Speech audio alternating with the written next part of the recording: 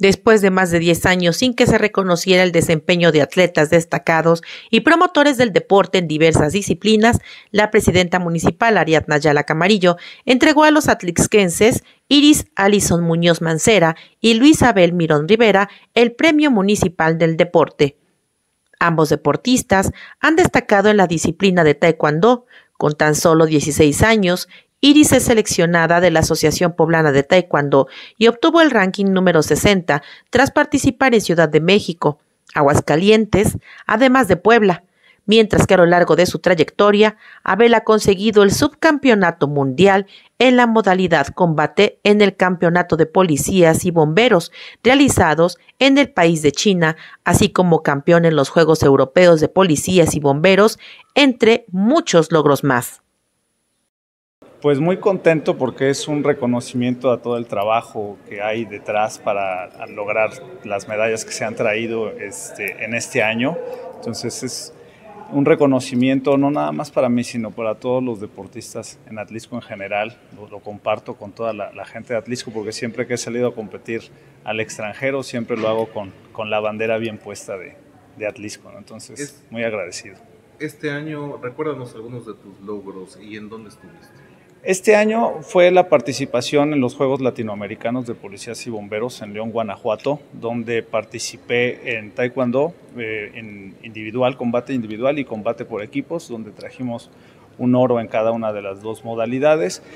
E incursioné en el ciclismo de ruta. Por primera vez competí, competí en el ciclismo de ruta, un nivel muy fuerte, es un deporte que no es el mío, siempre he hecho ciclismo, pero no había yo competido y pues bueno, no nos fue tan mal, quedé en sexto lugar.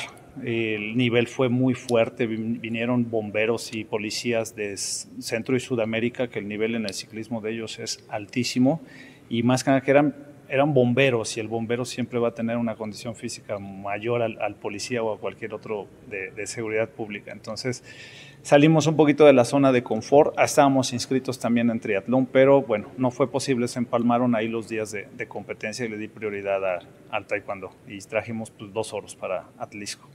Sí, es bueno, pues hay que partirse en, 20, ¿no? Porque hay que atender el tema del trabajo, la familia, todas las responsabilidades y aparte el, entrenamiento, ¿no? O sea, los cursos de capacitación y eh, las clases de, taekwondo y, y, el entrenamiento es, es, es, complicado, pero tenemos que darnos tiempo para todo, ¿no? El día tiene 24 horas y habrá que, que dividirlo para que nos dé tiempo.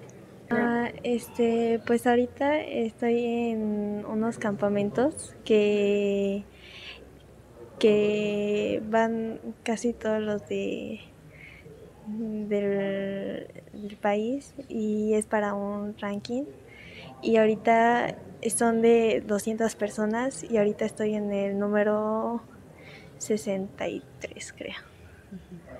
Y bueno, también platicamos, ahorita te van a entregar un reconocimiento, ¿cómo te sientes por este reconocimiento? Ah, pues me siento muy feliz porque pues tener un reconocimiento pues del deporte y pues Sí, se siente muy, muy padre.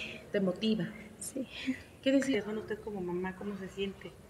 Pues me siento muy orgullosa de ella, de todo lo que ha logrado, de que tan pequeña tenga estos logros y que pues que siga avanzando en, en este deporte que es tan bonito. Claro, ¿qué tan complicado ha sido, sobre todo pues costoso, ¿no? Con los gastos.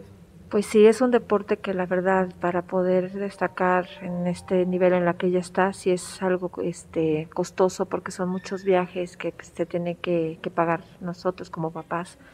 Este, si ella quiere destacar, pues tiene que ir a torneos fuera de, del estado, en Monterrey, Guadalajara, Acapulco. Entonces, este, pero es algo que a ella la motiva y es algo que a ella le gusta, entonces no nos queda más que apoyarla y pues hacer todo lo que se pueda para que ella pueda seguir avanzando.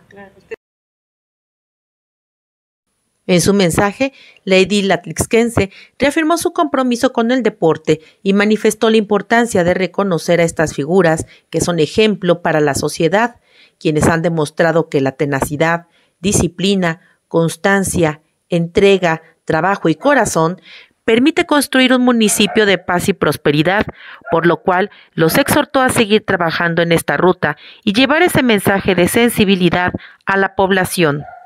Para Contextos Noticias, Jessica Ayala.